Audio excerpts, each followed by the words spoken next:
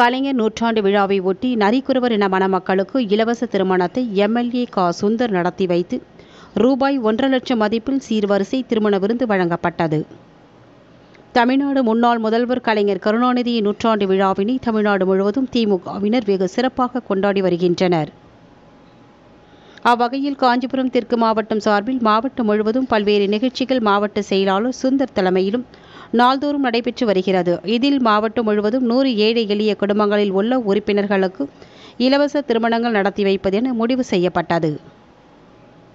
அவ்வகையில் காஞ்சிபுரம் மாநகராட்சி நான்காவது மண்டல குழு தலைவரும் ஆதி திராவிட நலக்குழு மாவட்ட அமைப்பாளருமான செவிலிமேடு மோகன் ஏற்பாட்டின் பேரில் குருவிமலை பகுதியில் வசிக்கும் நரிக்குறவர் என தம்பதிகள் ஆன மேஷா கீர்த்தன் அவர்களுக்கு இன்று திமுக சார்பில் இலவச திருமணத்தை உத்திரமேரூர் சட்டமன்ற உறுப்பினர் காஞ்சிபுரம் தெற்கு மாவட்ட திமுக செயலாளர் கா. சுந்தர் மற்றும் காஞ்சிபுரம் நாடாளுமன்ற உறுப்பினர் செல்வம் ஆகியோர் இணைந்து நடத்தி வைத்தனர்.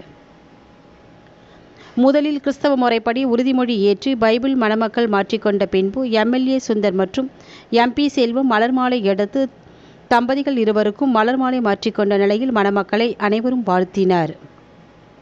திருமண தம்பதிகளுக்கு ரூபாய் ஒன்றரை லட்சம் மதிப்பில் கட்டில் மெத்தை பீட்டோ பீரோ தொலைக்காட்சி பெட்டி மற்றும் சமையல் பாத்திரங்கள் என அனைத்தும் சீர்வரிசையாக வழங்கப்பட்டது.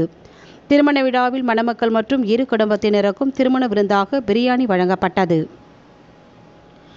இந்நிகழ்ச்சியில் காஞ்சிபுரம் மாநகராட்சி மேயர் மகாலட்சுமி யுவராஜ் மாவட்ட இளைஞரணி துணை அமைப்பாளர் யுவராஜ் தெற்கு ஒன்றிய செயலாளர் கமனன் ஒன்றிய குழு உறுப்பினர் பரசுராமன் களக்காட்டூர் டெல்லி பாபு ஊராட்சி மன்ற துணைத் தலைவர் பாலாஜி திமுக நிர்வாகிகள் களக்காட்டூர் ராஜகோபால் தட்சிணாமூர்த்தி ஊராட்சி மன்ற தலைவர் கமலக்கண்ணன் சபை போதகர் யூதா உள்ளிட்ட பலர் திருமணத்தில் கலந்து கொண்டனர்.